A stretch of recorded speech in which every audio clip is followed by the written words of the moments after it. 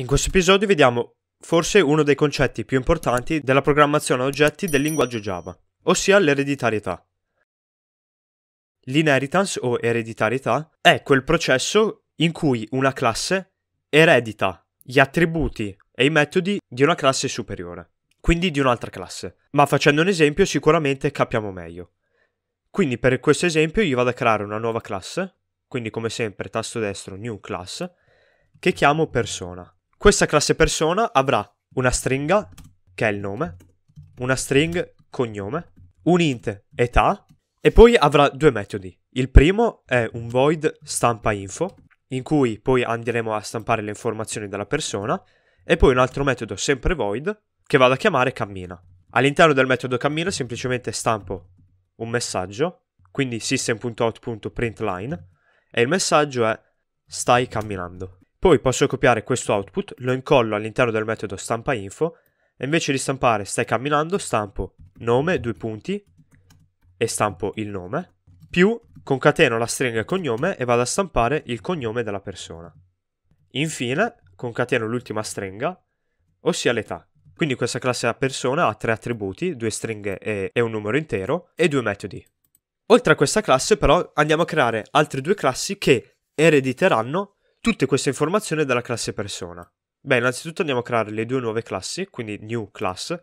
La prima la vado a chiamare studente, ecco qua la nostra classe studente, e poi vado a creare una nuova classe che questa volta chiamo lavoratore. Su Java per dire che una classe eredita da un'altra classe si usa la keyword extends. In particolare la keyword extends si specifica dopo il nome della classe e si scrive il nome della classe da cui la classe corrente erediterà gli attributi e i metodi. Nel nostro caso persona. Quindi public class studente extends persona. Facciamo la stessa cosa nella classe lavoratore, quindi andiamo qui di fianco, extends persona. Siccome queste due classi, studente e lavoratore, ereditano dalla classe persona, tutti gli attributi e metodi verranno incorporati all'interno di queste due nuove classi. Per verificare se ciò è vero andiamo all'interno del main, creiamo un oggetto studente che chiamo stu1 che è uguale a new studente. Se vado a scrivere stu1.cammina e avvio il programma, come vedete ci viene detto stai camminando, nonostante all'interno della classe studente non esista nessun metodo cammina. Però, dato che questa classe studente è eredita da persona, questo metodo cammina che è presente all'interno della classe persona viene creato anche all'interno della classe studente. E infatti è possibile richiamarlo da un oggetto studente. La stessa cosa è possibile farla da una classe lavoratore. Quindi io scrivo lavoratore, chiamo questo oggetto lavoratore 1. Quando vado a richiamare il metodo cammina del lavoratore 1 e avvio il programma, ovviamente ci viene stampato anche in questo caso stai camminando. Bene, ma cos'è la cosa figa dell'ereditarietà? La cosa interessante è che noi all'interno delle classi studenti e lavoratori possiamo definire più attributi e più metodi. Ad esempio, nella classe studente vado a dichiarare un intero che chiamo matricola e poi una stringa che chiamo classe e magari anche un float che è la media voti. Poi posso creare un metodo void che chiamo stampa voti.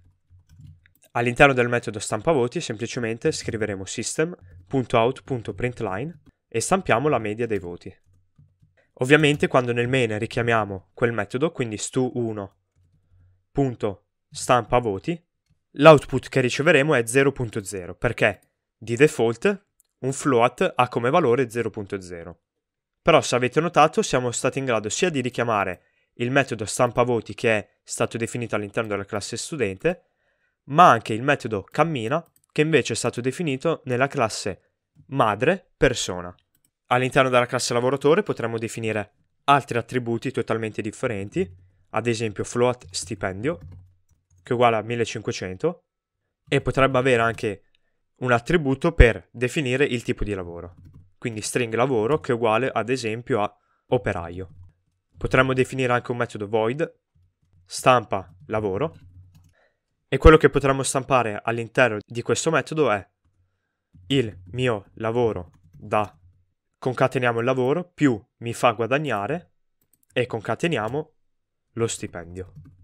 Quindi adesso andando nel main e richiamando il metodo lavoratore1.stampa lavoro. Quando abbiamo il programma, ecco qua che ci viene stampato il mio lavoro da operaio mi fa guadagnare 1500 euro. Ovviamente all'interno della classe studente potremmo valorizzare gli attributi, la media voti potremmo dire che è 7.5, la classe potrebbe essere seconda A e la matricola potrebbe essere un numero, ad esempio 9348. Quando abbiamo il programma, vedete che ci viene stampata la media voti 7.5 e poi tutti gli altri messaggi. Quindi, ricapitolando, l'ereditarietà è quella caratteristica della programmazione oggetti che permette ad una classe di ereditare gli attributi e metodi di un'altra classe. Nel nostro caso la classe madre, diciamo, la classe genitore, l'abbiamo chiamata persona, poi abbiamo creato due sottoclassi studente e lavoratore che ereditano da questa stessa classe persona. Quindi sia studente che lavoratore al loro interno avranno tutti i metodi e gli attributi della classe persona. Per qualsiasi dubbio o domanda lasciate un commento e noi ci vediamo nel prossimo video.